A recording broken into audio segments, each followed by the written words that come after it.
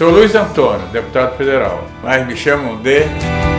O Federal da Energia Limpa, o Federal da Saúde, o Federal Pé na Estrada, o Federal dos Castramóveis e o Federal da Família.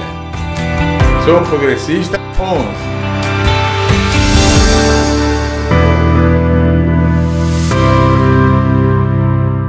Venha você para o PP também.